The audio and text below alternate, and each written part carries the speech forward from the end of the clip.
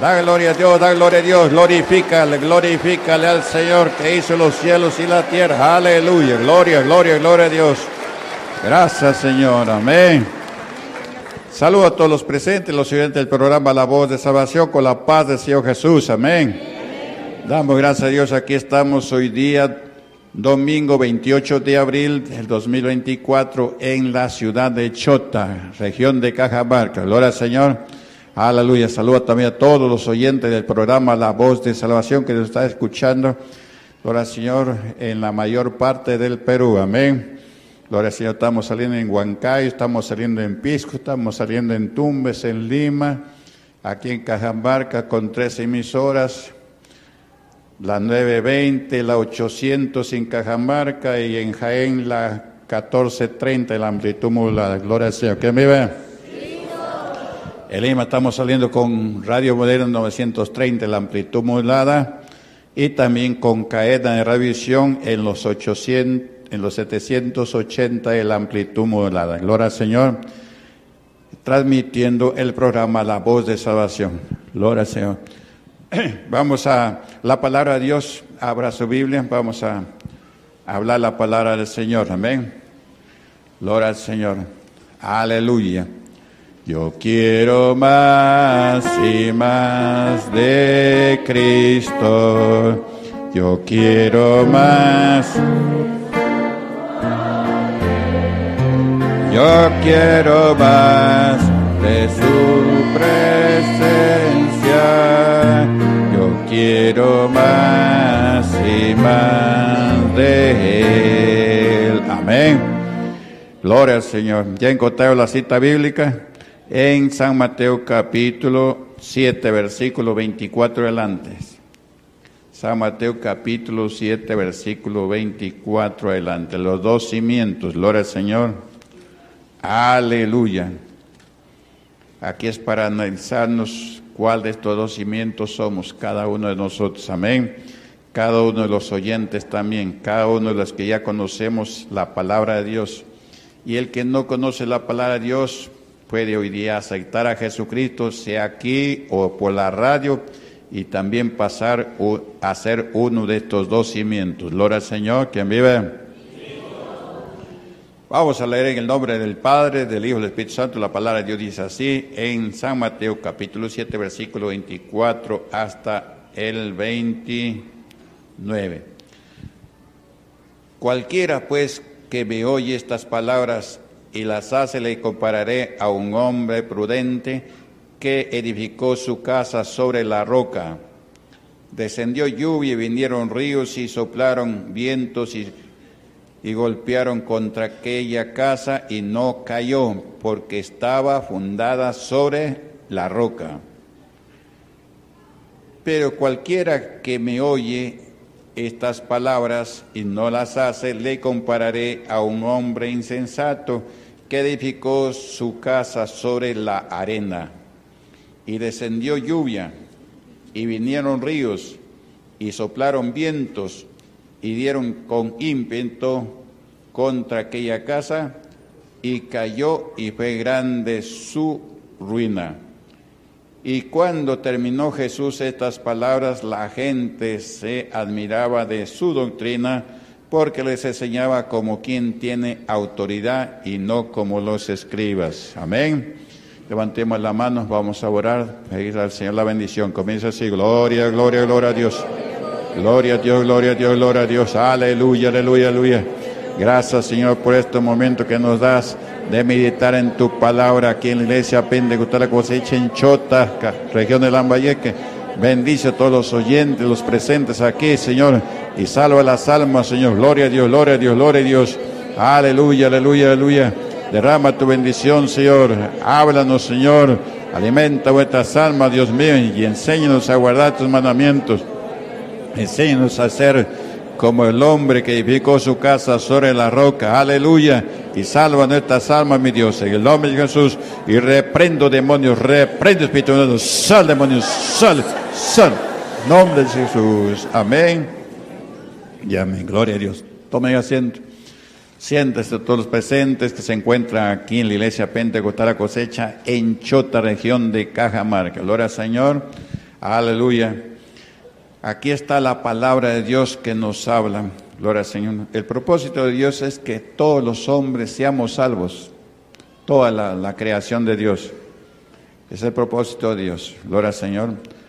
Pablo dice, exhorto que se hagan oraciones y peticiones y acciones de gracias por todos los hombres en toda la tierra, por los que están en eminencia, por los gobernantes, por todos los hombres, para que venga el conocimiento de la verdad, porque hay un solo Dios y un solo mediador, Jesucristo hecho hombre. Hay un solo Dios y hay un solo mediador entre Dios y los hombres. Este mediador se llama Jesucristo. Y el Señor Jesucristo dice, yo soy el camino, la verdad y la vida. Nadie viene al Padre si no es por mí.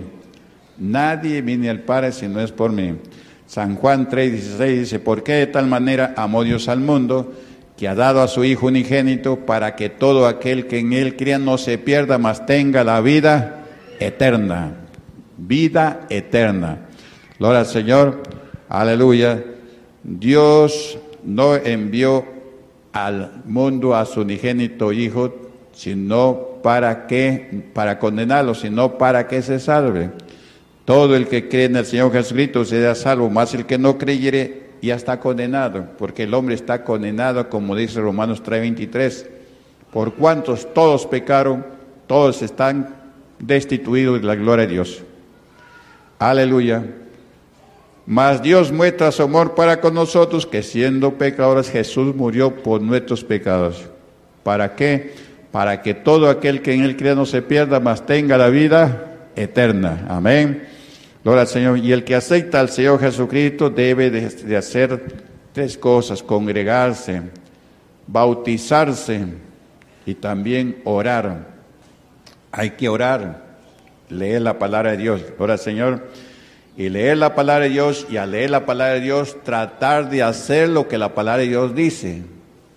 Yo acá estoy descubriendo, hermanos, que da tiempo, pero, pero no hacen lo que la palabra de Dios dice.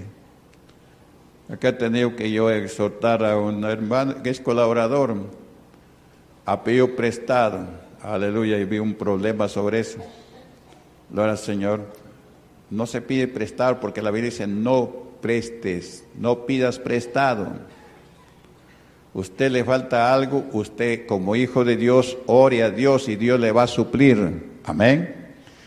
Y muchas veces pasamos nosotros este, eh, pruebas económicas. La Biblia dice que para ser salvos vamos a ser probado y reprobado. Pero Dios no nos va a permitir ser probados más de lo que podamos soportar, sino que juntamente con la prueba Dios va a dar la salida. Ahora, Señor, para ser salvos vamos a ser probados como la plata, como el oro, refinados como el oro. Porque ninguna cosa inmunda va a entrar arriba. Y para eso tenemos que ser hacedores de la palabra de Dios. Santiago dice, ser hacedores de la palabra de Dios y no tan solamente oidores. Ahora, Señor, hay que ser hacedores de la palabra de Dios. Y eso trato de enseñarles y eso trato de hacerlo yo también. Que me ve. A su nombre. Para predicar el Evangelio hay que estar lleno del Espíritu Santo.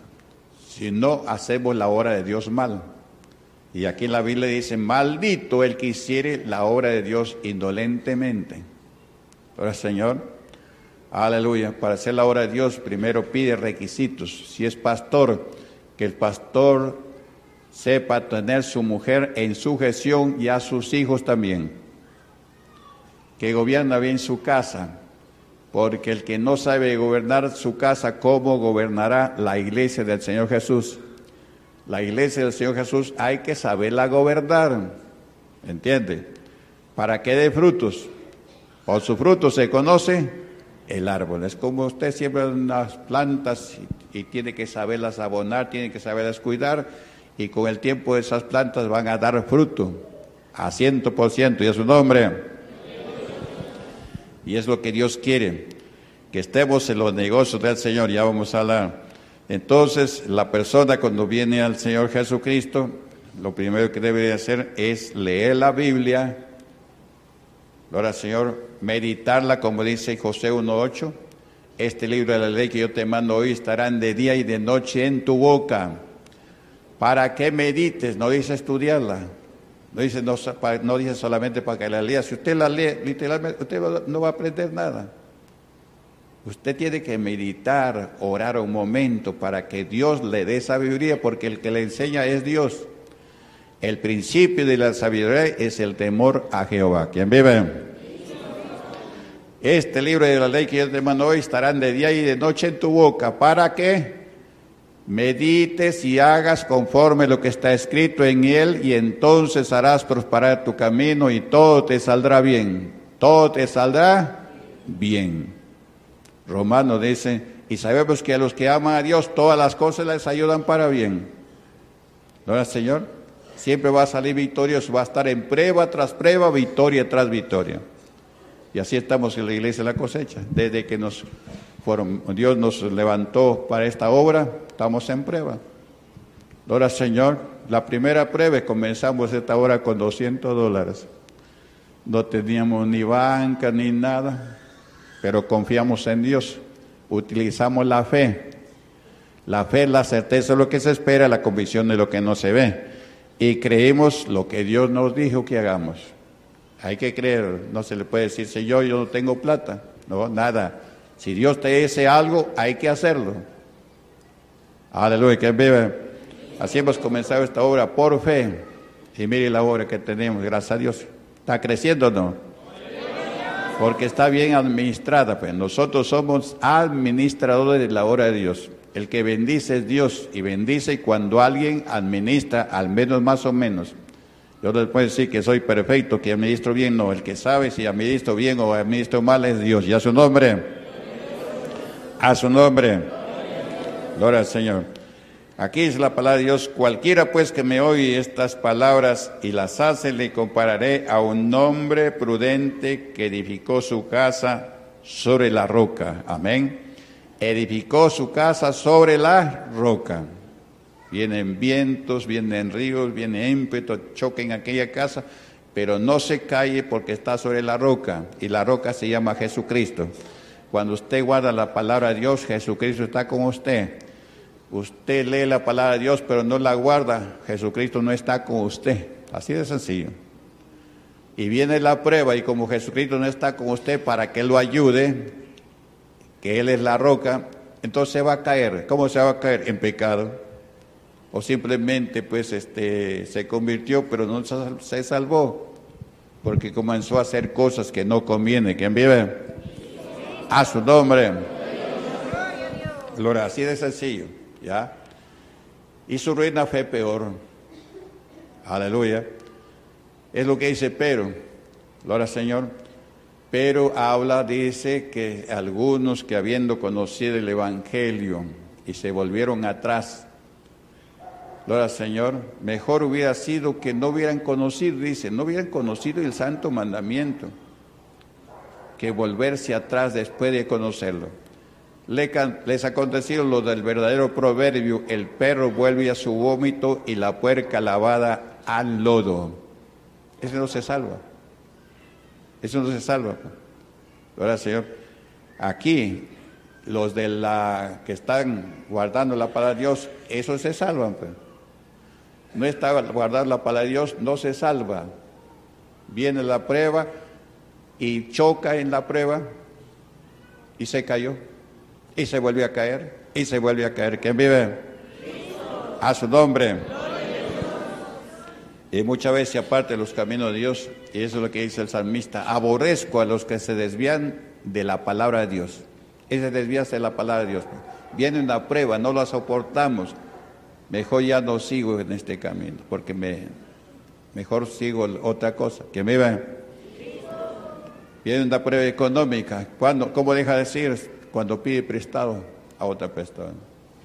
Podríamos tener que reprender a un hermano y felicitar al hermano que lo, le prestó, porque si le presta lo hace pecar. Pues. Porque la Biblia dice, no debáis a nadie nada. No debáis, pues yo no presto dinero. Tengo una prueba e-, económica, estoy siendo probado, espero en Dios. Estoy decidido, aunque sea morirme de hambre, pero no pecar pidiendo prestado porque el siervo de Dios no mendiga pan. Joven fui y envejecí y no he visto justo desamparado ni su descendencia que mendigue pan. El justo espera en Dios. ¿Ya? Pase lo que pase, espera y confía en Dios. ¿Verdad, Señor? Y no mendiga pan. Pues. No mendiga. Mendigar es pedir prestado. Ahora, Señor, que vive. Ni mendiga sanidad también. Me enfermo y voy al médico, estoy bendigando sanidad. Cuando yo sé que Dios me da sanidad gratuitamente. Y aún Él dice, eh, aún que esté muerto, va a vivir. Jesús dice, yo soy la resurrección y la vida. El que cree en mí, aunque esté muerto, vivirá. Y el que vive y cree en mí, no morirá eternamente. ¿Quién vive? Es el Dios que tenemos. Un testimonio. Recientemente ha acontecido eso una hermana miembro, justamente de Chotes. Tiempo tiene, desde que estábamos allá en, en ¿cómo se llama? Ya me olvidé ese lugar. ¿Quién vive? De ahí viene, es, es, miembro. Pero el diablo le ha puesto una enfermedad. Ahora, Señor, que todo lo que comía le hace daño y, y habían dicho que tenía diabetes. Ya entonces pues, le faltó la fe y estaba orando para ir al hospital. Y gracias a Dios que oró. Cualquier cosa que eh, usted quiera hacer, diríjase primeramente a Dios. Los que son guiados por el Espíritu de Dios, estos son hijos de Dios. Usted quiere al hospital porque le falta la fe. Ya. Y Dios no quiere, Dios no quiere que su casa se caiga. Entonces ella oró, Señor, perdóname, pero voy al hospital. Porque es miembro, pues siempre recibe oración, pero no pasaba nada.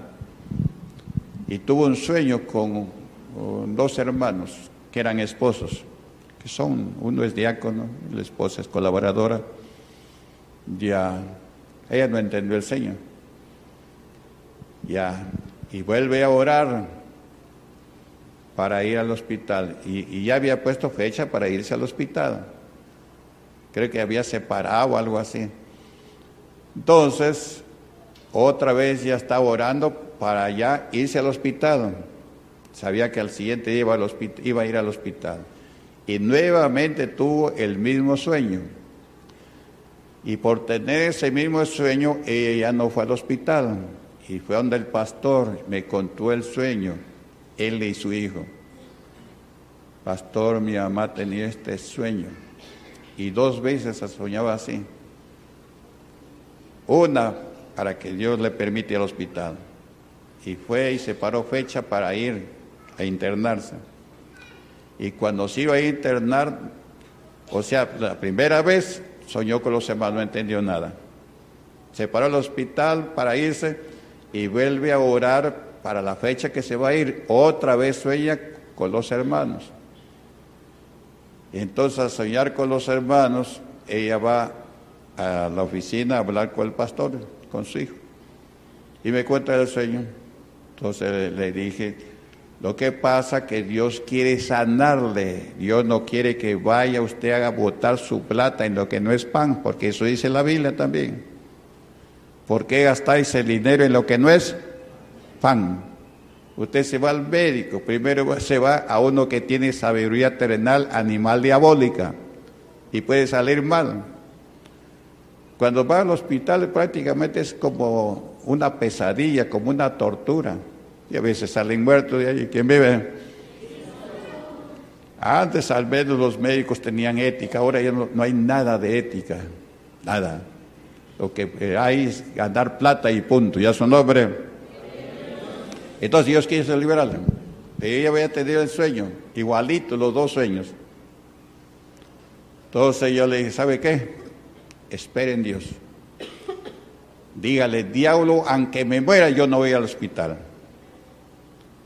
Y yo cuando venga el diácono, porque viva pues las campañas así, porque no, está en la obra, sino un diácono, así como que hay diáconos que vienen acá y sirven al Señor Aleluya. Entonces ya dejé, ella me dijo, cuando viene Julano de tal, que se conecte con tal persona, con el hijo de la hermana. Ya que vaya él y su esposa. Y se fueron. Ahora, Señor, y se fue y le oró. Le oró, el diablo salió gritando. ¿Qué cosa era una brujería? Cayó por tierra, se levantó y todos los malestares que tenía desaparecieron. No podía comer casi nada, porque lo que comía lo botaba. Comió, bebió y sana y curada. ¿Se da cuenta, no? Ya, entonces el Señor, ¿qué hizo? Librarla, pues. Librarla de que se caiga, porque si, si vos del médico es porque ya está faltándole la fe, pues. Ya le está faltando la fe. Prohibido que vaya al médico, no es. Acá no se le prohíbe, Dios tampoco prohíbe que te vayas al médico pero ya está la fe quebrantándose, pues, que vive. Es como el que tiene prueba, económica y pide prestado, ya eso, su fe ya está quebrantándose. Aleluya, que le, que le den o no le den, pero ya está quebrantándose. Está dando un mal testimonio. ¿Quién vive? A su nombre. Aquí dice en el versículo Aleluya 26 dice, pero cualquiera que me oye estas palabras y no las hace, y no las hace, hay que hacer lo que la palabra de Dios dice. Si tu enemigo tiene hambre, dale de comer. ¿Dice así o no? Aleluya. Dice así, pues. Entonces, eso hay que hacerlo, pues. No tengas ira, no tengo ira. Ahora, Señor, Aleluya. Y muchas cosas más. Todo eso hay que hacerlo. Ser mansito, hay que ser mansito. Si tu vituperan, dale gracias a Dios. Yo le doy gracias a Dios porque el Señor dice, bienaventurados cuando por mi causa os, vituperan. ¿Quién vive? Bienaventurados sois cuando por mi causa os vituperan. Hoy día venía a acusar a una miembro, aleluya, de que se emborracha de que toma licor y le han dicho diablo incluso. Y la Biblia dice que por causa de Jesucristo nos van a decir así, pues. Ya, pero como eh, dice que toma licor, yo le llamé para, para ver si es cierto. Me dijo, no, pastor, yo no tomo, yo no tomo licor. De repente mi hermana, pero mi hermana no es evangélica, pues es del mundo. ¿Quién me ve? Y ahí conversando, conversando, y me dice, pastor, yo soy una de las que he ido a Grecia. Y siempre cuando se mandó a varios países, una de ellas era, yo no me acordaba. Y nos pusimos a conversar, me fui con tal persona, con tal persona, y me contó lo que pasaba allí. Dice, pastor, queríamos ir a un lugar donde habían paralíticos, habían drogaditos, habían gente mala. ¿Ya? Pero una de las hermanas dijeron, no hermano, no vayamos ahí. Entonces ella dijo, no, estamos con Dios. Si Dios es con nosotros, ¿quién con nosotros? Hemos venido a predicar el Evangelio, vamos a predicar a esas personas. Y se fue y le predicó y había uno que estaba paralítico, que no podía pararse. Y le hicieron oración. Y luego se van por ahí, se sienta a un lugar que iba a comer algo y cuando estaban comiendo, a la persona que estaba paralítico y no podía pararse, ya estaba sentado ahí en una mesa también comiendo. Y estaba con su tarqueta. Y le dijeron a las hermanas, ¿quién es el pastor de ustedes? Entonces ellos le dijeron, lo, lo natural, mi pastor está arriba en el cielo. Pero el hombre no, le enseñaba la tarjeta. El pastor de esta tarjeta, el pastor que les ha enviado acá, ¿Quién es? Yo quiero conocer al pastor. ¿Quién vive? Ya. ¿Por qué? Y le dijo, qué maravilla que Dios hace con este pastor. Y yo quiero conocerlo. ¿Y a dónde en Grecia? ¿Quién vive? ¿Se da cuenta de lo que Dios hace o no? Así que cuando se envía, pues no se envía por gusto. Dios hace cosas, pero hay que ser valiente. ¿Y aquí qué dice la palabra de Dios? Mire, que te mando que te esfuerces y seas valiente, no temas ni desmayes porque yo estoy contigo donde quiera que tú vayas. Y yo confío en Dios, porque su palabra dice que Él, está con nosotros, que Él vive para nosotros. Entonces yo soy hacedor de la palabra de Dios, yo confío en Dios y no tengo miedo. Aleluya, que drogaditos, que no sé qué, no. Uno tiene miedo.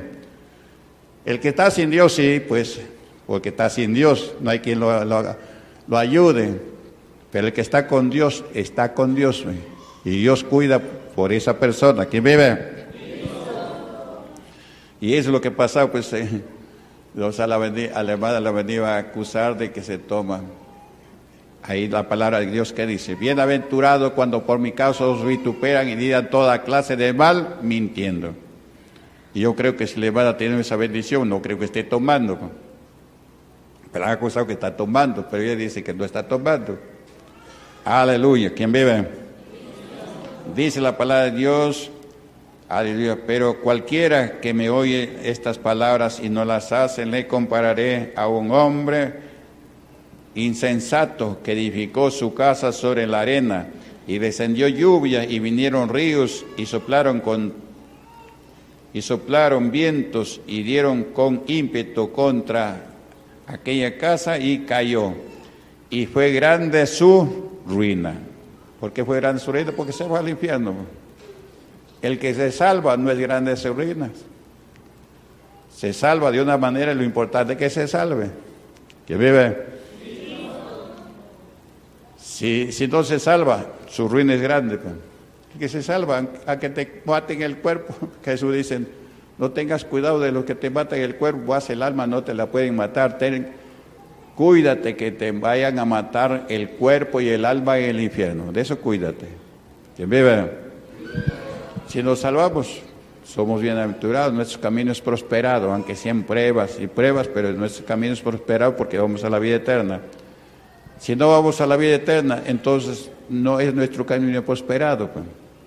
Venimos a ser como este hombre que fue edificada su casa, ¿a dónde? En la tierra. Amén. Ahora nosotros los predicadores, ¿qué es lo que tenemos que hacer? Vamos a leer algo en San Lucas. Aleluya. Tenemos que hacer lo que Jesucristo hacía vamos a ver qué es lo que hacía Jesucristo. Ya su nombre. San Lucas capítulo 2, versículo. Aleluya. 49. Abra su Biblia. Porque a veces leemos, pues ni, cuenta nos damos. Y, y son versículos importantísimos. ¿Ya? Gloria al Señor. Lo que estamos haciendo acá en la iglesia pentecostal la cosecha es lo que dice la Biblia. Negocios. Negocios, ¿ya? Pero negocios para quién? Para Dios. Y nosotros somos administradores. Los que hacemos la obra de Dios somos administradores. ¿Ya su nombre? ¿Ya encontraron? Dice así. San Lucas 2, 49. Escucho oyente también usted. Si tiene su Biblia, compare con su Biblia. La Biblia dice que el que habla de Dios hable conforme a las palabras que están escritas en la palabra de Dios y no se le da interpretación, ni se le agrega, ni se le quita.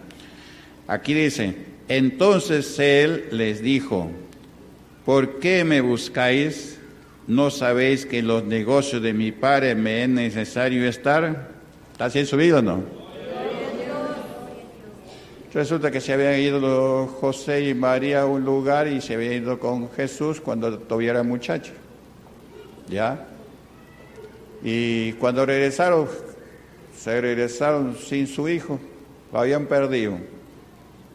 Y se regresaron nuevamente a donde habían ido a buscarlo y lo llegan a encontrar. Y está sentado con los doctores, con los sabios allí y Jesucristo les está enseñando la palabra de Dios. Él ahí todavía no ejercía su ministerio, él ahí todavía no había milagros, sanidades, pero hablaba de Dios. ¿Ya? ¿Y por qué no había sanidad todavía con él? Porque todavía, todavía no se había bautizado, todavía no había ayunado 40 días y 40 noches, todavía no había sido tentado por el diablo. Así de sencillo. Gloria Señor.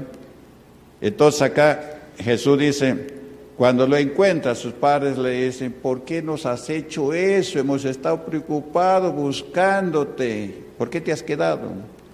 Entonces Jesús les contesta, le dice, gloria Señor. Entonces Él les dijo, ¿quién es Él? El Señor Jesucristo. ¿A quién les dijo? A José y María. Al Señor. ¿Por qué me buscáis? ¿No sabéis que en los negocios de mi Padre me es necesario estar? Ojo que nosotros también debemos estar en esos negocios. Y hay que hacerlo bien hecho. Salvar almas es un negocio para nuestro Padre. ¿Ya? Que la iglesia crezca es un árbol que está dando fruto y son negocios para nuestro Padre. Amén no para el que predica, los que predicamos no, somos administradores. ¿Ya? Gloria Señor, nosotros somos administradores. Y los administradores tenemos que ser honrados delante de Dios y delante de los hombres. Es lo que trato de hacer yo también. Gloria Señor, ¿quién vive? Ahora subir en 1 Corintios. Aquí va a hablar de los administradores. En 1 Corintios, capítulo 4 que está. A ver, vamos a ver. El ministerio de los apóstoles. Ellos también eran administradores. Ahora, Señor, la obra es de Dios.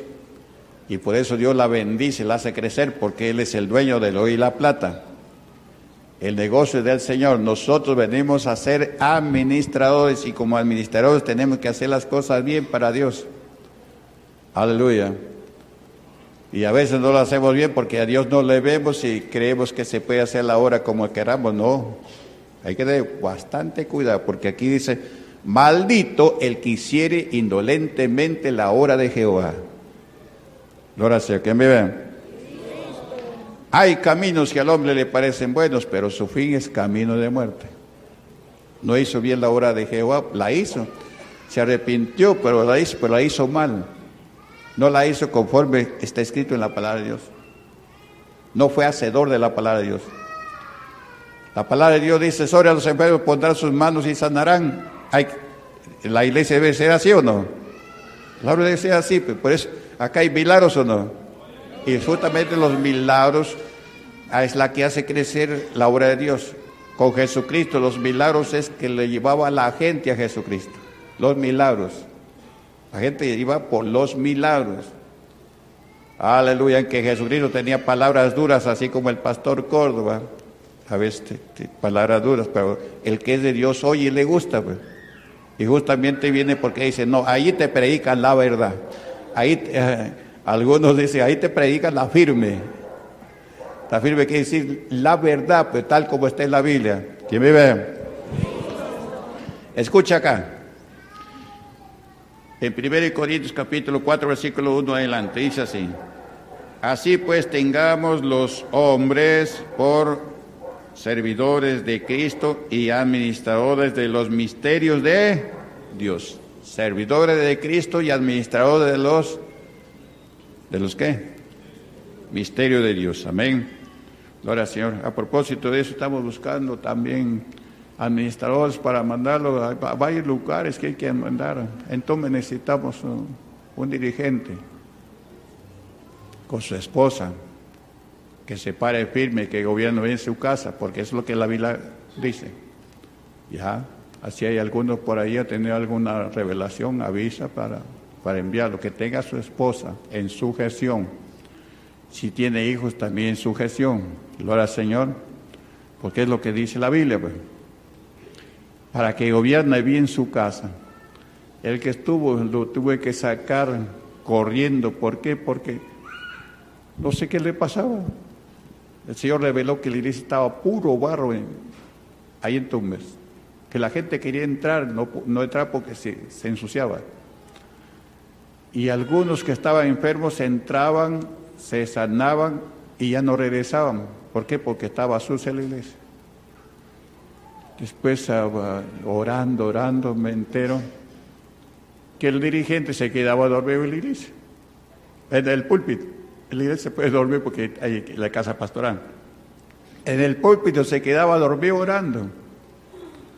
Aleluya. Y ni siquiera reconocía su error porque yo le pregunté, ¿tú te quedas dormido en el púlpito orando? No, pastor, me. ¿No te quedas eh, dormido en el púlpito? Bueno, una vez me quedé dormido. y según el testimonio es una vez, sino siempre que subía al púlpito se quedaba dormido. Despertaba, volvía a orar y volvía a dormirse. ¿Y qué ejemplos para los demás? ¿Qué ejemplos para los que ya primera vez? ¿Cómo van a regresar así? Pues? La persona que quiere ser salvo, mira quién lo está dirigiendo. Si le dijo una persona que no va a, ser salvo, ya no regresa. Así es así. Acá la gente viene porque en el pastor Córdoba ven un nombre de Dios, ¿ya? Ahora, Señor, no soy perfecto, perfecto yo no soy, ¿ya? Aleluya, pero no trato de, dar un mal testimonio. Pues. El testimonio que, doy son las obras de Dios. ¿Quién vive? Dice así, así pues tengamos los hombres por servidores de Cristo y administradores de, de los misterios de Dios. Administradores. Usted es una persona millonaria, pone sus tiendas, pone un administrador. ¿Para qué lo pone? ¿Para hacer su negocio, sí o no? ¿Qué dice el Señor Jesús? En los negocios mi Padre me es necesario estar. Aleluya. Del versículo 2. Ahora bien, dice Pablo, se requiere de los administradores que cada uno sea hallado fiel. ¿Se ha hallado qué? Fiel, sincero, temeroso a Dios, lleno del Espíritu Santo. Ser ejemplo de los demás para que los demás también imiten. La Biblia dice, gloria al Señor, que hay que orar por los pastores que le hablaron la palabra de Dios y mirar cuál ha sido su conducta e imitarle su fe. Si conducta es buena, no hay nada de qué hablar de esa persona y se ve los frutos, se ve los milagros, se ve eh, cómo la iglesia crece. Eso hay que imitarlo. ¿Quién me ve? Si todos imitarían al pastor, imagínense cómo estaría el mundo lleno de hombres de Dios. Aleluya. Y es fácil imitar al pastor. Difícil, ¿no es? hago lo que el pastor hace y punto, se acabó. ¿Quién me ve? Dirijo una iglesia, exhorto, pero con justo juicio. ¿Ya? Por ahí también exhortan algunos no con justo juicio, entonces yo tengo que corregir eso. Aleluya, ¿quién me? Eh, no, no, hay que, el que, el que administra tiene que tener cuidado, no te vayas ni a la derecha ni a la izquierda, juzga con justo juicio. ¿Ya? De eso se agrada a Dios. Por acá hay algo que pasó. Ayer me llamaron por teléfono un dirigente, me dice, pastor, lo acusa a mi hermano de hacer cosas. Y, creo que le, iba, le ha suspendido a la que le ha dicho. Y ya. Y, no es así, me dijo. Yo tenía que hablar con las personas, pues han venido hoy día gracias a Dios, todos han venido los, um, y he hablado con ellos y me he dado cuenta que la persona que le ha informado al diácono, sí es así. Sí es así. ¿Por qué? Porque el acusado, el acusado dijo que sí. Y había algo, porque a mí me dijeron que había prestado dinero, entonces me decían, él lo ha prestado. Aleluya. Y veo acá, usted pidió prestado dinero a tal persona. Me dijo sí. Y si me dice sí, entonces está confirmando que lo que le han contado al diácono es así, pues. Es así. El diácono me dijo, no, me, la acusan mintiendo, me dijo. Ayer no estaba acusando mintiendo. Estaba acusándolo porque eso ha hecho. Que vive. Y lo que yo no sabía es, pastor, y le ha mordido la oreja a un niño. ¿Quién vive? Aleluya. Oiga, tenga cuidado con eso. ¿Cómo va a hacer eso? Haga eso. ¿Cómo le va a morder la oreja a un niño? ¿Y por qué le volví la oreja? Porque estaba descansando y el niño estaba que jugaba y hacía bulla y se levantó y, y ¡bam! Mordiscón de oreja. ¿Quién vive? Aleluya. No, nunca haga eso. Nunca. Tampoco le castigue. ¿Cómo va a castigar a un niño? Y, menos que no es hijo. Que vive. Así sea su hijo, usted no le castiga a su hijo. ¿Ya? Ame a su hijo. Exhórtelo. Pero con mansedumbre. Usted quiere exhortar teniendo amargura en su corazón, no exhorte nada, doble su rodilla y pida misericordia a Dios. Cuando usted esté tranquilo, mansito y humilde, ahí puede exhortar. El Señor Jesús exhortaba con mansedumbre y él dice, aprendan de mí que soy manso y humilde de corazón. Se exhorta, pero con mansedumbre. Y cuando se exhorta con mansedumbre, la justicia de Dios obra. Usted exhorta con amargura, la justicia de Dios no obra. El niño se vuelve más rebelde. ¿Quién vive? A su nombre. La oración. Dice aquí, ahora bien, se requiere de los administradores que cada uno sea hallado fiel. Dice, yo en muy poco tengo el ser juzgado por vosotros y por tribunal humano. Eso debe ser el hombre de Dios. Si te llevan preso, te llevan, pero con mentira, así como lo llevaron a Jesús. ¿Ya? Pero que no te lleven preso porque has hecho lo malo. Aleluya, ¿quién vive? Por ejemplo, el que le mordó la oreja, oiga, si era del mundo, podía haber hecho un tremendo escándalo. Gracias a Dios que eh, la persona no es del mundo, o sea, o sea, eh, no lo hizo con una del mundo. Pues. Si es del mundo, ya es un escándalo. ¿Ya? Lo que ha hecho la hermana es dar cuenta al, dirigente, a un dirigente. Y al dirigente, en vez de hablar con la persona para ver si es cierto o no es, le quería suspender a la hermana. No, el que dirige una iglesia no puede hacer eso, tiene que hablar con la otra persona también. Ya no puede hablar con nosotros más. Ahora, Señor, si a mí me dan una queja, yo no puedo decir, no, no tú estás, estás hablando mal. No, tengo que hablar con la otra persona si es así o no es así. Yo hablé acá con las dos personas, lo mismo que le dijo al dirigente, me dijo a mí. Y yo le pregunto a la otra persona, ¿es así? Sí, pastor. Entonces, lo que decís, la Biblia dice así, no debas a nadie nada. ¿Ya? Y eso hay que hacerlo, pues, ser hacedor en la palabra de Dios. Después me enteré que le había mordido la oreja. Es increíble, usted a misericordia. Nunca haga eso, pues. ¿Cómo va usted a, un niño? Pues? No.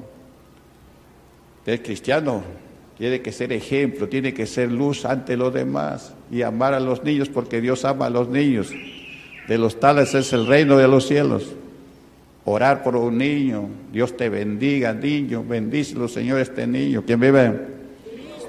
Pero no, pues, este, morder la oreja, ¿cómo le voy a morder la oreja yo? Y yo le dije, oye, ¿y te le comiste la oreja, no? Aleluya, porque él me dijo que sí le mordido, pues. Y si le murió, le sacó sangre, no cree que le mordió así nomás, no. De hecho, herida, ¿quién vive? Pero es perro, ¿qué cosa eres? Eh? Cristiano no es un perro, pues. ¿Cómo voy a morderle yo la oreja a un niño? ¿Quién vive? Aleluya. Y en mis pensamientos estaba mandando para mandarlo a Tumbes porque sí tiene cara de predicador, se ve, pues, pero su esposa también se le ve normal, pero con esas cosas ya no, pues. ¿cómo le voy a mandar así? Me le muerde las orejas a lo de ella también, ¿quién vive? Aleluya. Entonces, eh, eso no se hace, pues. Para eso hay que tener dominio propio de su cuerpo, saber dominar la lengua y saber dominar el cuerpo. El que gobierna su lengua es capaz de gobernar todo su cuerpo, dice Santiago, ya su nombre. Yo en, en muy poco tengo que ser juzgado por vosotros o por tribunal humano. Eso también dice el Señor Jesús. ¿Quién me redarguye de pecado? A Jesús lo acusaban de que era hijo de fornicación, que no guardaba la ley, que había dicho que iba a destruir el templo y en tres días lo iba a construir, cuando ese templo lo habían construido en 46 años.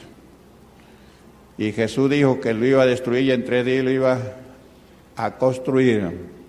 Pero no hablaba del templo de, de Jerusalén, sino hablaba de su propio cuerpo que iba a morir y al tercer día iba a resucitar, eso es el cuerpo que iba a resucitar, que el templo que iba a, construir. Aleluya, lo derribo es cuando muere. Pasan tres días sepultado, al tercer día resucita, eso es restaurarlo. Pues. Está hablando de su propio cuerpo, de su propio templo. Nosotros somos el templo de Dios viviente. ¿Quién vive? A su nombre. Por eso que lo crucificaron por haber dicho esa palabra. Por eso que lo han crucificado. O sea, como si él estuviera hablando de un templo pues este, hecho a mano, no. Claro, ese templo hecho a mano lo hicieron en 46 años. Y cuando dijo, yo voy a derribar este templo y lo voy a construir en tres días. Estaba hablando de su cuerpo, dice la Biblia. Y los que testificaron que había hablado eso y por eso lo mataron, aleluya, no dijeron que estaba hablando por su cuerpo. Ellos dicen, estaban hablando por el templo de Jerusalén. Entonces allí le dicen que era blasfemia, pues, por eso lo, lo llegan a crucificar. ¿Qué beben? A su nombre. Yo en muy poco tengo el ser juzgado por vosotros o por tribunal humano. Y ni aún yo me juzgo a mí mismo. ¿Está escuchando? Porque trataba Pablo de ser recto. No el 100%. Aleluya. El 100% es Dios. Jesucristo tampoco, él dijo que era bueno ¿O sí dijo que era bueno? ¿Ah? Jesús dijo que era bueno. Y si Jesús dice que no hay ninguno bueno en la tierra, incluyéndose el mismo, entonces nosotros, ¿qué somos? ¿Más que Jesús? ¿No?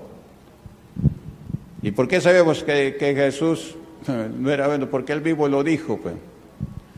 Ah, le dijo, maestro bueno, ¿qué debo de hacer para entrar a la vida eterna? El Señor Jesús le le dijo, ¿por qué me llamas bueno? Bueno solamente Dios que está arriba en los cielos y la tierra. Él es bueno. ¿Por qué tú me llamas bueno a mí? Humanamente en la carne uno no es bueno. Estamos sin carne. ¿Quién vive? Que Jesús estaba en carne, despojado de su gloria. ¿Ya? Él tenía debilidades. ¿Ya? Por eso él dice, yo no soy bueno nosotros tampoco no somos buenos. ¿Quién vive? Por eso que si no somos buenos, entonces ¿quién nos va a juzgar? El único que nos va a juzgar es el bueno, no el impío, por si acaso. Aleluya. Por eso Pablo dice, yo no tengo tribunal que me juzgue. Porque el que, el que juzga, para que juzgue, tiene que ser limpio. Tiene que estar mejor que el juzgado. No puede eh, ser que el que está juzgando sea peor que el juzgado, aunque ahora en la justicia heredal sí hay eso. Pero entre cristianos en las cosas de Dios no hay eso. Por eso Pablo dice, yo no tengo quien me juzgue. Para que lo juzgue tiene que estar mejor que el otro. Jesús que le dijo a, los que le acusaron a la, adúltera, el que esté limpio de pecado tire la primera piedra. Cada uno se redarguyó, pensó y estaba en la presencia del vivo Dios allí. Y nadie le aperió. Nadie le aperió. ¿Ya? Y se fueron. Jesús le dijo, ¿dónde están los que te acusaban? ¿No te aperiaron? No, Señor, ninguno me aperió. Ni yo te juzgo Ve y no peques más, le dijo, porque Jesús vino para perdonar al pecador, para que el pecador deje de pecar y se salve. ¿Quién vive? ¿Ya? Entonces, el que juzga es Dios. Yo no puedo juzgar a nadie. Hablo, lo disciplino, lo corrijo, alguna cosa así. Y tengo que tener cuidado también, no se me vaya a pasar la mano. Aleluya. Si me paso la mano, me humillo, le pido perdón, perdóname. Ahí discipliné ahí en Bamamarca una dos años. Después ya viendo el testimonio, ya dije, mira, no lo vuelvas a hacer. Controla bien tus palabras y no hagas lo mismo. Le di su carne, pasa tu cena. ¿Quién vive? ¿Por qué? Porque el Señor mismo me redarguye también. Pues. No hay que creer que el Señor no me pone en mi mente lo que debo hacer. Aleluya. ¿Quién vive? Y entonces, este, una cosa es disciplina y otra cosa es juzgar. El que va a juzgar es Dios. Por eso aquí Pablo dice, yo en muy poco tengo el ser juzgado por vosotros o por tribunal humano, y ni aun yo me juzgo a mí mismo, porque aunque de nada tengo mala conciencia, no por eso soy justificado, pero el que me juzga es Él. ¿Quién es el que juzga? El Señor. Él es el juez. Él es el juez, el que condena y el que salva. Gloria al Señor. El que juzga es el Señor. Usted cualquier cosa que vea un miembro puede avisar. Ya, así como esta hermana que avisó que le dijo al dirigente que va a sacar disciplinada. Ya, pero está liberando un alma del pecado. Pues. Ya, porque el hermano está en pecado. Ahora, Señor, ¿quién vive? El hermano está en pecado. Entonces, eh, pero el, eh, eh, el, hermano aquí le da la queja, le dice, no, dice, estás mintiendo, le dice. La Señor, ¿quién vive? Y no estaba mintiendo. Pues. Hoy ha venido, han venido los dos y otra más, que es el que le había pedido el prestado para ver si le pidió prestado. Y dijo que sí le había pedido prestado. Y no le ha prestado. Gloria Señor, lo felicité de no haberlo prestado porque está librándose, librando a, esa persona que peque. El día lo va a comenzar a luchar y no va a poderle pagar. Después ya no va a poder pasar cena porque no paga lo que ha prestado. ¿Quién vive? Por eso la Biblia nos dice, no prestes nada a nadie, no pidas prestado, ya su nombre. Y si pediste prestado y te fue mal, haz lo que dice Proverbios capítulo 6, ve y humíllate ante la persona que quedaste ligado con tus palabras, le ofreciste, pero no cumpliste. ¿Quién vive? Y mayormente cuando la persona presta no, no, no cumple así nomás, porque el diablo trabaja. ¿Para qué? Para hacerlo tener contra la palabra de Dios. ¿Qué dice la palabra de Dios? No debas a nadie nada. En, Salmos, ¿qué dice? El impío pide prestado y no paga. A veces no paga porque el diablo lucha. Pues.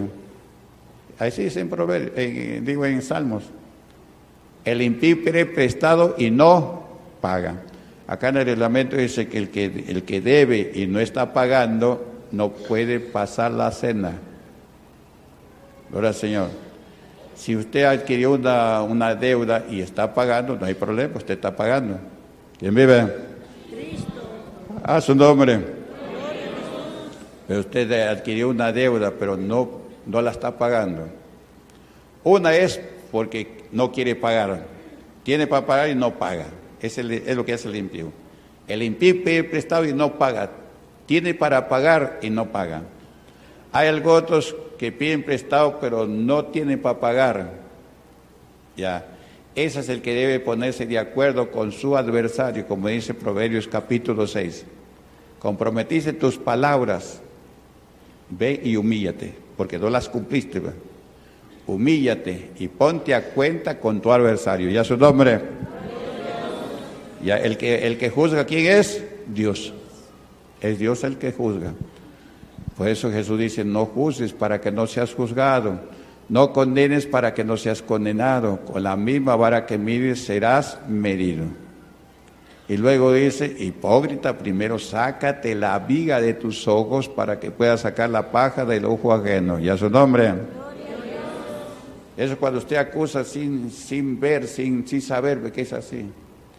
Pero si usted está viendo y es un miembro de la iglesia, usted sí debe de hablar al dirigente, tal persona está haciendo esto y el dirigente verá si habla con la persona, no lo habla, pero usted libró su alma. Si el justo se aparta de su camino y tú no le amonestas, dice la Biblia, para que el justo se persuada de su mal camino y se salve, tú, si tú no le hablares al justo que se apartó de su camino, él va a morir, pero de ti demandaré su sangre. Por eso hay que advertir. Una cosa es acusar y otra cosa es advertir. ¿Quién vive? Al pecador también. Si yo dijera al impío, ciertamente morirás, y tú no le hablares, no le amonestares para que el impío se persuada de su mal camino, él va a morir. Pero de ti demandaré tu, su sangre porque tú sabías que se estaba en pecado y no le hablaste y se murió. Y de ti voy a demandar su sangre. Hay eh, cristianos que sueñan con sangre, es porque usted no está hablando. Dios quiere salvar a alguien y usted no le habla. ¿Quién vive? A veces Dios te da mensajes que le hables a la persona, pero a veces el hermano ni, ni cuenta hace lo que Dios le dice. Que vive. Ya, entonces eso hay. Pues. Y sabemos que el impío es el que está sin Jesucristo. Pues. Así tenga millones y millones, así sea presidente, rey, si está sin Jesucristo es un injusto, está bajo el maligno. La iglesia está bajo Jesucristo, es de Jesucristo, pueblo de Dios. Y los que están sin Jesucristo están bajo el maligno todos. Eso dice la Biblia, en primera de, Juan. Ahí habla la palabra de Dios. pueblo de Dios y pueblo que está bajo el maligno. Es, ese es el impío. ¿Quién vive? Pero el justo muchas veces se desvía del camino de Dios. Si el justo se apartara de su justicia, hiciere conforme al impío, todas las cosas que hizo no le serán tenidas en cuenta por su pecado que cometió, va a morir. Eso dice la palabra de Dios. Si el justo se aparta de su justicia, hiciera lo malo, igual que el impío, ninguna de las justicias que hizo le serán tenidas en cuenta. Y en la Biblia tenemos varios injustos, por ejemplo Saúl. Saúl fue uno de esos justos que conoció a Dios, pero se volvió injusto. Se volvió un impío y murió como un impío. Él mismo se mató. ¿Quién vive? Él mismo se mató. Gloria al Señor. Ese conoció el Evangelio, o sea, conoció la, la palabra de Dios. ¿Quién vive? Ese recibió el Espíritu Santo, él profetizaba después que Dios lo manda a ungir eh, por el profeta Samuel, profetizaba, ¿ya? Hasta que pecó. Pecó una vez, perdió el reinado de Israel. Lo perdió, ya no era rey. Así como muchos que hay pastores, pero no tienen nada de Dios. Es igualito que el rey Saúl. Han perdido su reinado. Saúl siguió reinando, pero ya Dios ya no le confirmó que era el rey de Israel. Era rey por su cuenta. Dios levantó a otro rey. ¿Hasta cuándo? Hasta que muera Saúl para que el otro rey ejerza su reinado. ¿Quién vive? ¿Ya? Entonces, él pierde primeramente el reinado.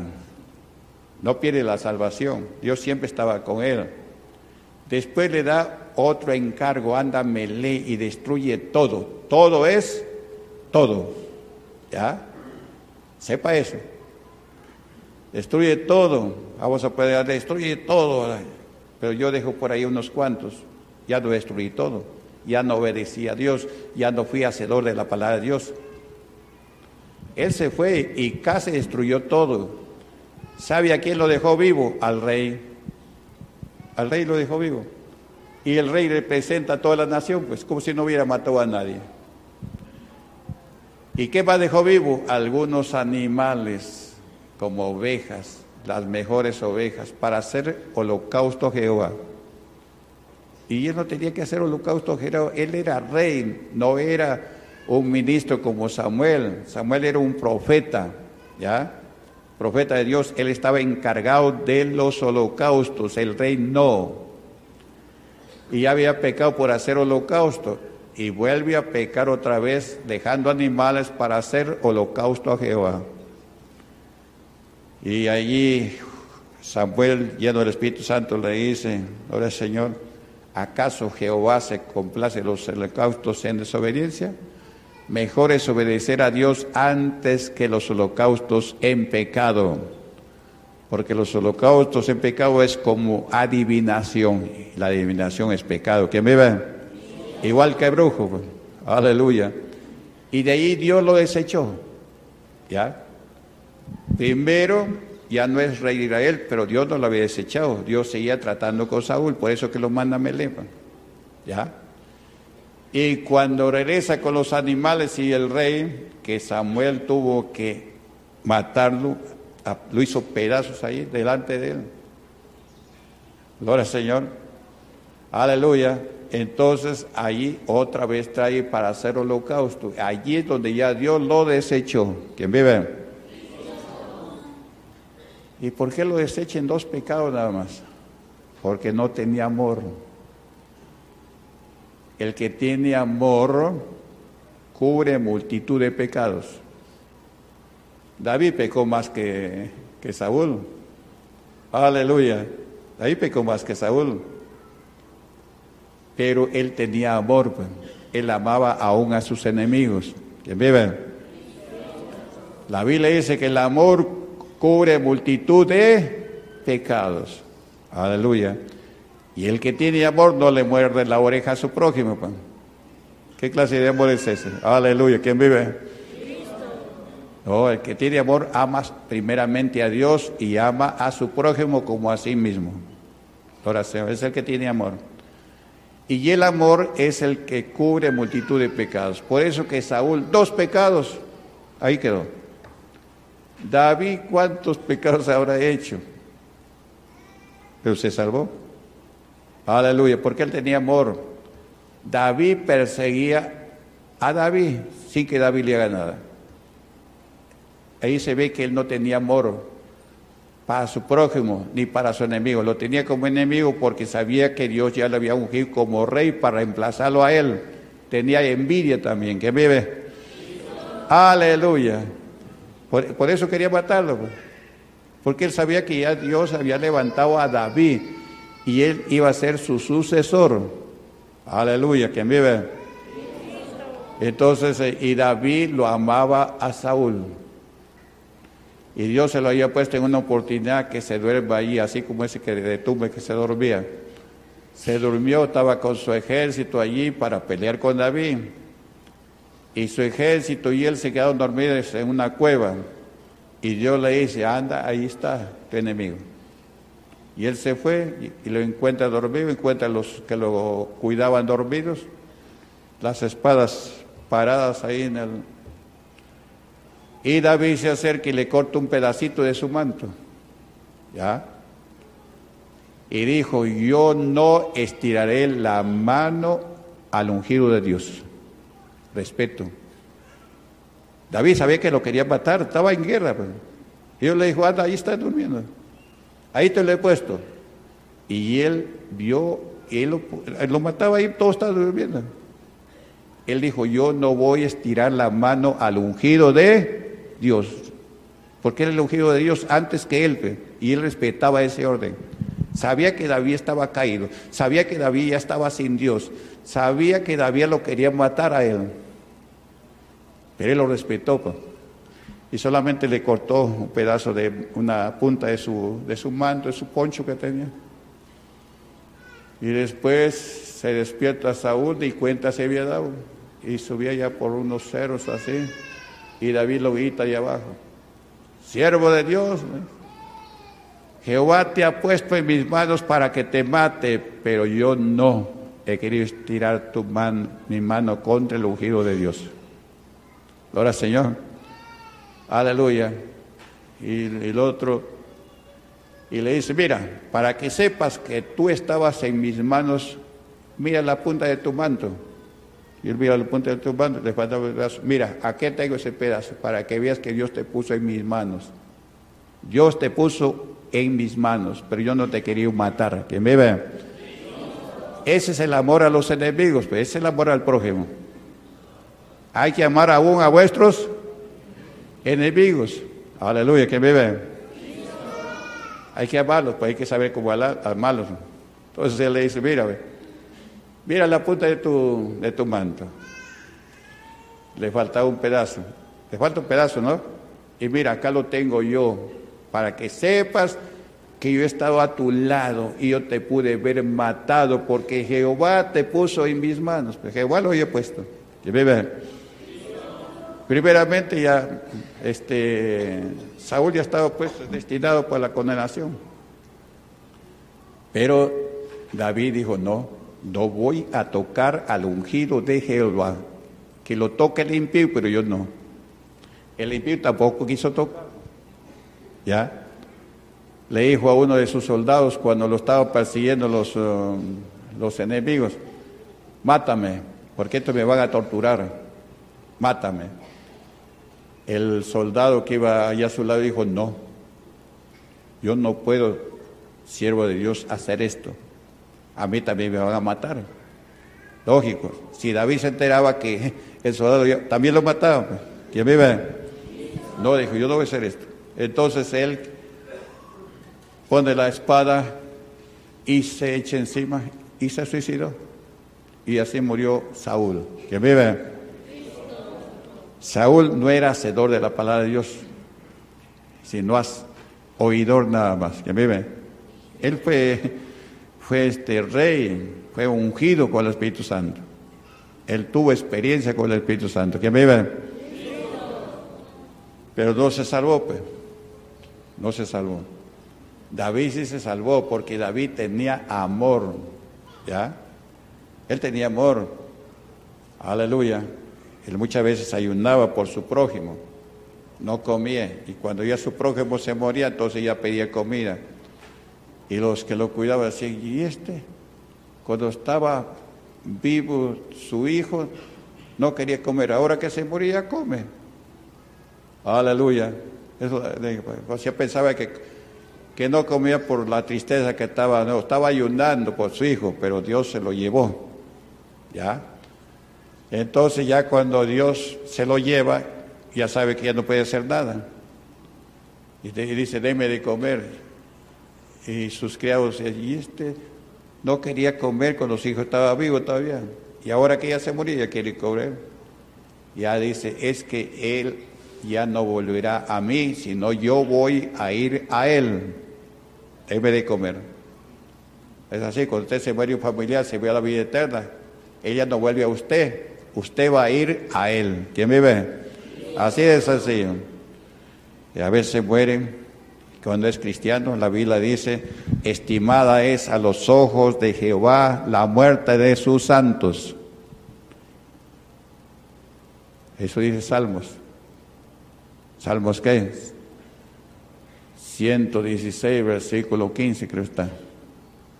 Gloria al Señor. Estimada es a los ojos de Jehová la muerte de sus santos. ¿Quién vive? A su nombre.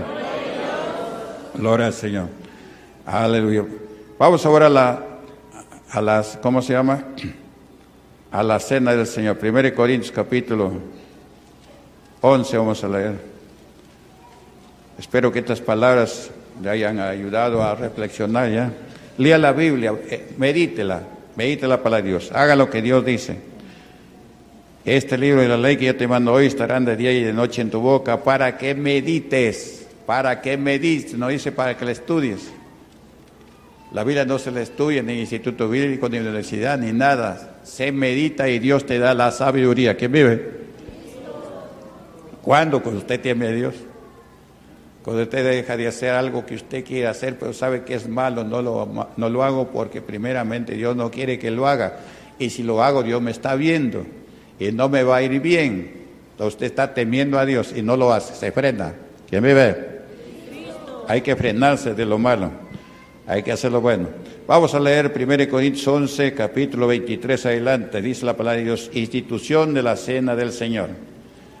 Porque yo recibí del Señor lo que también os he enseñado, que el Señor Jesús, la noche que fue entregado, tomó pan. Y habiendo dado gracias, lo partió y dijo, tomar, comer, esto es mi cuerpo que por vosotros es partido, hacer esto en memoria de mí. Asimismo tomó también la copa después de haber cenado, diciendo, esta copa es el nuevo pacto en mi sangre, hacer esto todas las veces que la bebieres en memoria de mí. Así pues, todas las veces que la, todas las veces que comieres este pan y bebieres esta copa, la muerte del Señor anunciáis hasta que Él venga. La muerte del Señor anunciáis hasta que Él venga. Al pasar la cena estamos anunciando la muerte del Señor. Y cada vez que anunciamos la muerte del Señor estamos teniendo vida. Si confesares con tu boca que Jesús es el Señor y creyeres en tu corazón que Dios levantó a los muertos, serás salvo. Al pasar la cena estamos recordando la muerte del Señor. Que vive. Y aquí Pablo, Pablo no conoció al Señor Jesús por si acaso. Pablo era perseguidor de los evangélicos en la iglesia primitiva, ¿ya? Y en esa ocasión de ser perseguidor, Dios se le presenta en camino a Damasco. Él iba con soldados para capturar a los que invocaban el nombre del Señor Jesucristo en Damasco. Entonces en el desierto se le apareció una luz en el cielo y cayó del caballo, los soldados también cayeron al piso y quedó ciego Saulo. Antes de caer vio una luz y luego le habla, Saulo, Saulo, ¿por qué me persigues? Saulo dice, ¿quién eres tú, Señor? Estaba ciego, ya no veía nada. Yo soy Jesús a quien tú estás persiguiendo. ¿Quién me ve? No hay que perseguir a un cristiano. usted persigue a un cristiano, estás persiguiendo al mismo Señor Jesús. Ahora, Señor. Aleluya. Entonces, ya le dice pues, lo que estaba haciendo, que estaba malo. Y Pablo y Saulo dice, ¿y ahora qué hago pues, Señor? ¿Qué hago? Levántate porque para eso te ha parecido, para ponerte por testigo, ojo, testigo, usted también es testigo de lo que Dios hace por usted, eso también hable a otros. Y por ministro, el que pone ministros es Dios. A mí me ha hablado Dios antes que yo sea evangélico. ¿Ya? Dios me ha hablado cosas que no le puedo hablar. Lo único que sí le puedo decir es que Dios me mostró en la oscuridad porque estaba oscuro, negro, negro estaba. En la oscuridad me mostró una luz a lo lejos, potentísima, y me dijo, acércate a esa luz para que alumbres al mundo porque el fin del mundo está cerca. ¿Quién me ve? Eso hace 35 años. Pocos días después conocí el Evangelio. Al leer la Biblia, aquí me dice, Jesús yo la luz. He venido al mundo para que todo aquel que en mí crea no permanezca en tinieblas. Y esta luz también es el que se le presenta a, a Pablo, pues, que bebe. Entonces, le dice, ponte sobre tus pies porque para eso te he parecido. Para Ahora, Señor, ponerte por ministros, por ministro. Y hable los, lo que has visto. ¿Qué ha visto la luz? Y eso está hablando acá Pablo. Hable los que has visto. Y de las cosas que me manifestaré a ti. ¿Por qué escribe Pablo de la cena? Porque Dios se le manifiesta. Pues. Así como acá se manifiesta que los miembros de esta iglesia no reciban pensión 65 porque es del anticristo y el que recibe pensión 65 no pasa cena, es lo que hago yo. No pasa cena quien recibe pensión 65 porque Dios ha dicho que es obra del anticristo. ¿Quién vive? Y a Pablo también se le manifestaba. A Pablo, ¿cómo él se le manifestó? Aquí, por ejemplo, la cena. Él dice que el Señor Jesús se dice, porque yo recibí del Señor lo que también os he escribido. Él recibió del Señor, dice Pablo, lo recibió. Y eso es lo que le prometió el Señor, de las cuales yo me voy a manifestar a ti. Y una de esas manifestaciones es la cena, que le habla y le dice, yo he hecho esto y que hagan esto también. Y cada vez que hacen esto, mi muerte van a, a ¿cómo, se llama? anunciar. ¿Quién vive? Y luego le dice cómo deben pasar la cena. Que hay que pasar la cena, gloria al Señor, con bastante cuidado, analizarse cómo estamos para no comer, gloria al Señor, aleluya. Vamos a leer versículo 27 adelante. Dice, de manera que cualquiera que comiera este pan,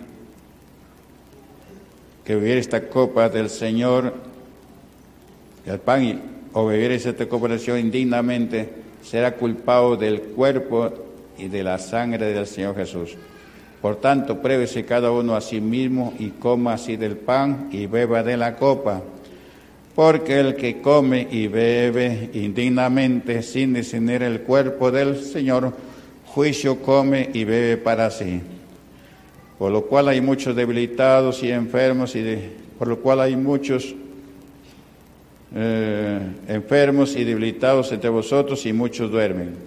Si pues nos examinásemos a nosotros mismos, no seríamos juzgados, mas siendo juzgados somos castigados por el Señor para que no seamos condenados con el mundo. Así que, hermanos míos, cuando os reunáis a comer, esperaos unos a otros. Amén. Es lo que está diciendo Pablo. Cuando te reúnas a comer, esperaos unos a otros. ¿Por qué? Por ejemplo, acá hay cerca de mil personas y la cena pues la van repartiendo acá hermano, entonces no se la puede comer inmediatamente, si no se pone a orar un momentito en espíritu, mientras los diáconos van pasando con la cena, cuando todos tenemos con la voz del pastor que dice vamos a comer el pan o vamos a ver la copa, la comemos todos en armonía, unánimes. ¿Quién me ve? Es lo que dice Pablo. Así que hermanos míos, dice, cuando reunís aleluya, a comer esperados los unos a los otros. Y la cena no es comida para la carne, es comida para el alma. ¿Ya? Comida para la carne se come en su casa. Aquí dice, el que tiene hambre come en su casa. ¿Por qué dice Pablo que come eso? Porque Pablo sabía que los corintios en la cena no resistían a hacer un ayuno todo el día. ¿Ustedes si resisten hacer ayuno todo el día o no? ¿Sí? Aquí a veces hacemos un mes y gracias a Dios por eso. Otra vez hasta dos meses. ¿Quién vive? Y no nos morimos, sino al contrario, nos fortalecemos en el poder de Dios. Y a esta carne la hacemos menguar. Esta carne, cuando ayunamos, es como si estuviéramos castigándola. ¿Ya? Porque esta carne es lo que los hace pecar, pues las obras de la carne. ¿Quién vive? y hay que morir en las obras de la carne y vivir en las obras del Espíritu Santo. ¿Quién vive? Entonces, gloria al Señor, aleluya. Eh, aquí está hablando el, Señor y dice, si alguno tuviera hambre, come en su casa, porque los corintios llevaban comida para después de la cena, o sea, la cena se hace en ayuno, y desde esos tiempos se hacía en ayuno. Por eso que ellos no iban comiendo de su casa, y la cena no sé a qué hora la pasaban y después de la cena ya se ponía a comer en el mismo local de donde pasaron cena. Es como si aquí tuvieran, venían, vienen en ayuno, pasan la cena, después sacan su, su vianda y comienzan a comer. No todos, porque tampoco no comían todos. Algunos comían, bebían y otros miraban nada más. Aleluya, ¿quién vive? Así era entonces, porque algunos no soportaban ayunar todo el día. Pues. Fue eso que todos no tenían milagros. Aleluya, todos no tenían milagros en esos tiempos. Acá todos tenemos milagros. Un miembro, basta que venga, basta que venga, haya ayunado unos dos, tres días, y a Dios lo unge. De repente no es ni miembro, pero si está viendo la iglesia botar la cosecha, Dios lo unge. Predica a alguien y le ora y Dios lo utiliza. Porque esta iglesia está leudada. Pues está dada por el Espíritu Santo. Y todo el que viene invoca el nombre del Señor Jesucristo, Dios lo perdona y lo unge. ¿Quién vive?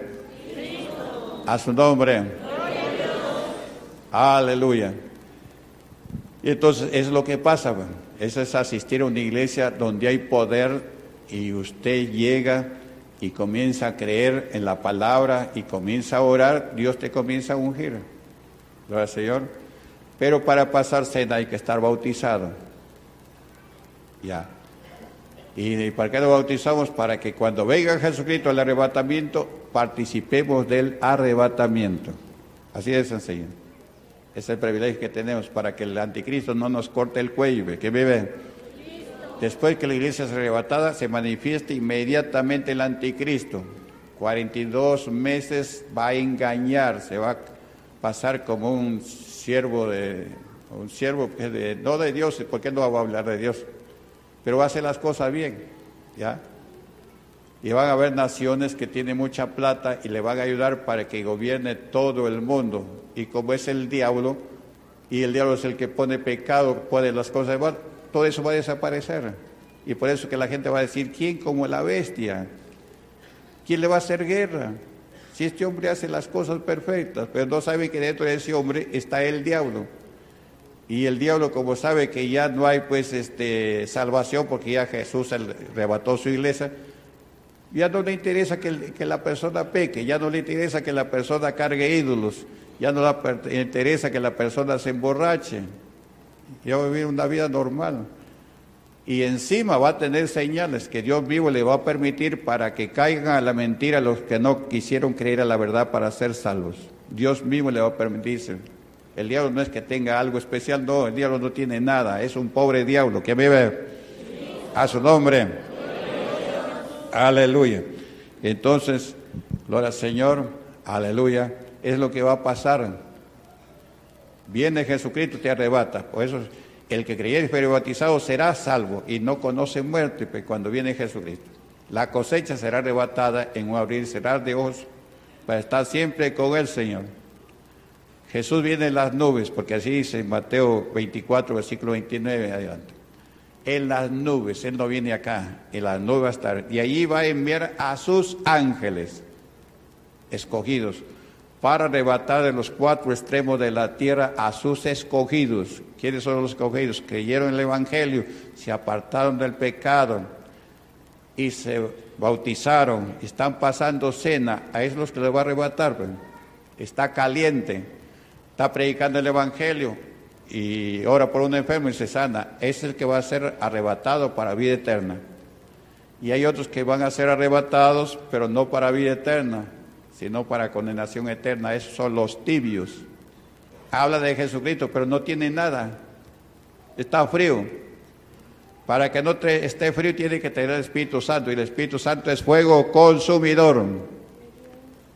Y por eso cuando oramos, pues el enfermo se sana porque Jesús quema a la enfermedad, quema al diablo. Y muchas veces el diablo sale gritando, ¿no? Sale gritando. Ayer se sanó una loca ahí en, ¿cómo se llama? En Bamba marca parte de muchísimos milagros que Dios hizo. Grandes cosas hace el Señor. ¿Quién me ve? Aleluya. Un anciano de 90 años también, todo su cuerpo enfermo, dolorido, todo su cuerpo. Y después la oración sano y curado. Aleluya. Eh, o sea, él se sanó totalmente, porque había hablado con un diácono aparte. Y le decía, ya no me duele nada, me ha dolido esto, me ha dolido esto, me ha dolido esto, pero ahorita no me duele nada.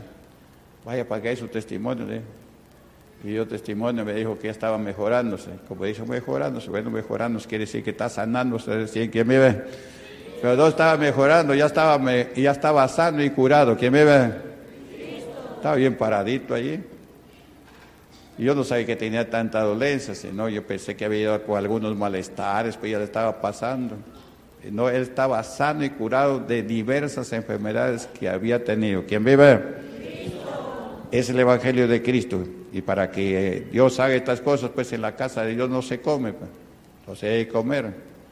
Ahora sí, muchas iglesias hay que hablan de Dios, pero venden comida y hacen otras cosas que están contrarias a la palabra de Dios. No son hacedores de la palabra de Dios.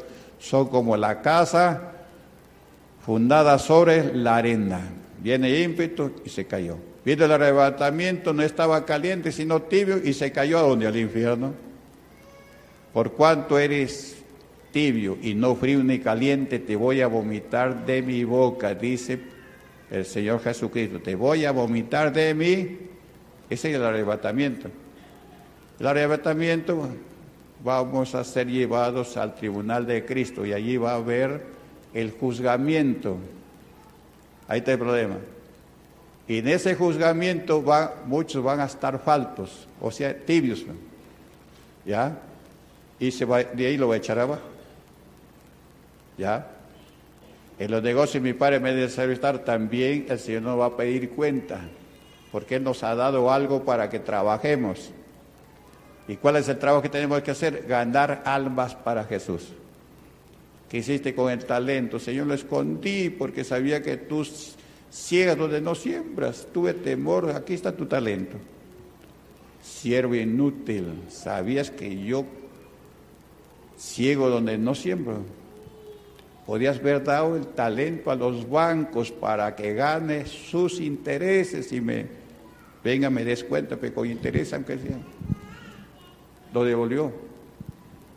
¿Y qué dijo el Señor? Ese no entró al, al reino de los cielos. Quitarle el talento y darle al que más tiene, porque el que más tiene, más se le dará, y el que poco tiene, aún lo que tiene, se le será quitado. En los negocios, mi padre me dice, ¿qué negocio está haciendo usted? ¿Está trabajando o no? ¿Quién me ve? Aleluya. No hay que ser ocioso en las cosas de Dios, ¿ya?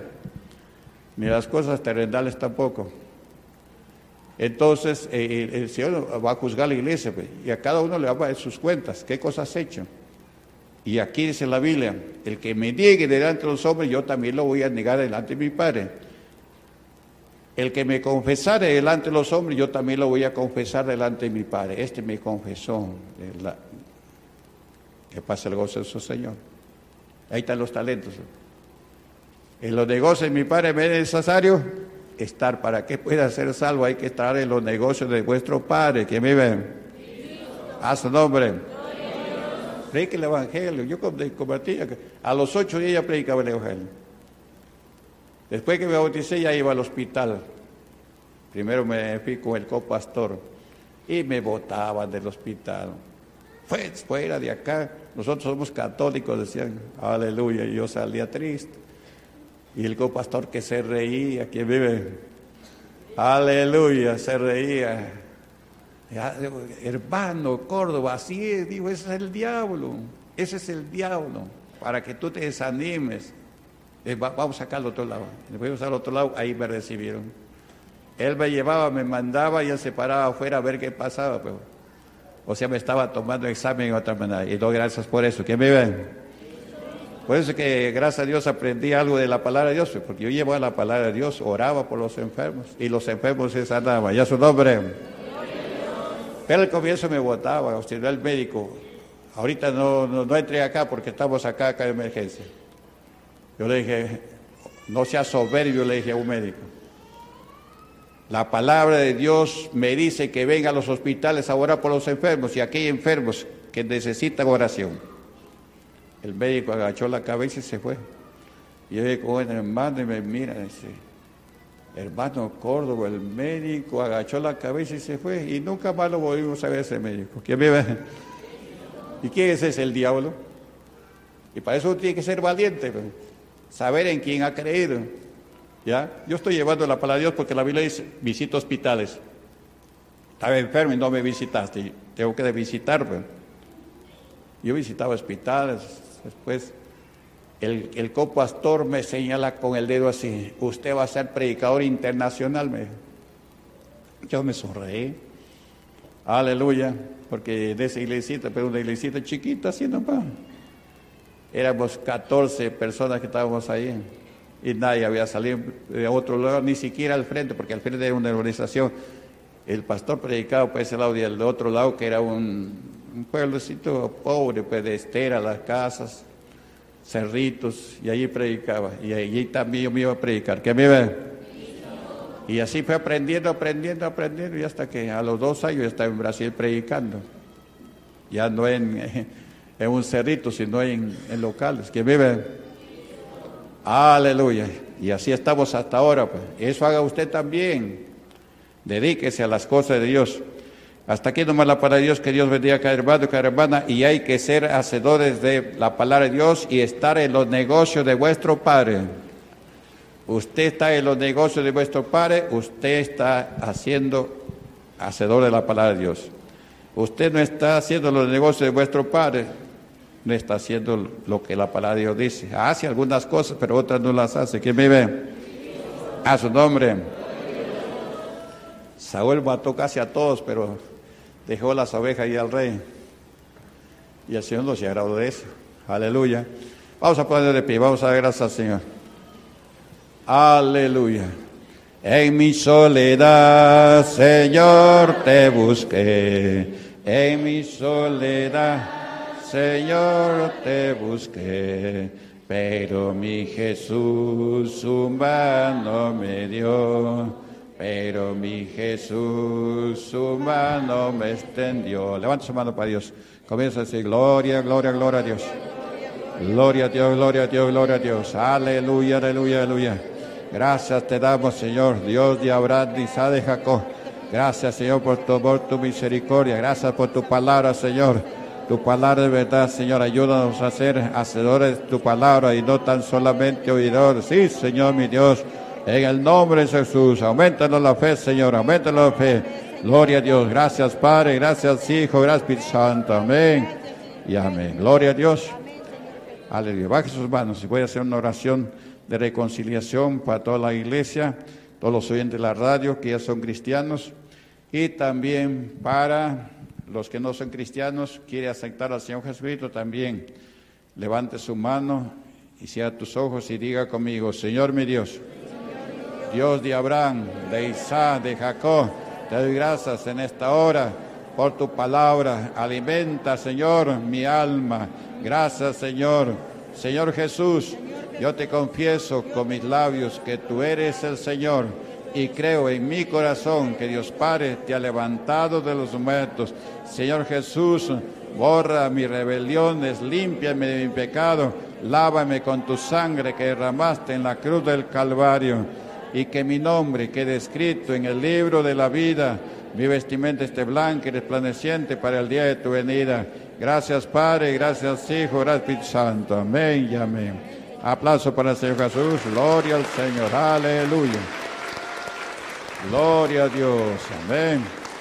Libre, libre. Iglesia Pentecostal cosecha desde Chota, región de Cajamarca, hoy día domingo, 28 de abril. ¿Quién es el que hace libre? El Señor Jesús. Si el Hijo libertare, seréis verdaderamente libres, dice el Señor. ¿Libre de qué? Del pecado. Porque el que practica el pecado está esclavizado del pecado. ¿Y de qué es el pecado? Del diablo. Esclavizado por el diablo en otras palabras. Pero Cristo nos ha libertado para poderle adorar, para alabarle para echar fuera los demonios que nos tenían oprimidos, nos tenían enfermos, ahora los echamos fuera. ¿Quién vive? Y si Dios es con nosotros, ¿quién contra? Nosotros somos más que vencedores. Usted no tenga miedo. El enemigo se le va a levantar para ponerte miedo, pero la Biblia dice, no temas ni desmayes porque yo estoy contigo donde quiera que tú vayas. Te vas al hospital, ahí está. Te vas a la cárcel, ahí está. Te vas a visitar a una familia, Ahí está el Señor. Pero hay que hablar del Señor.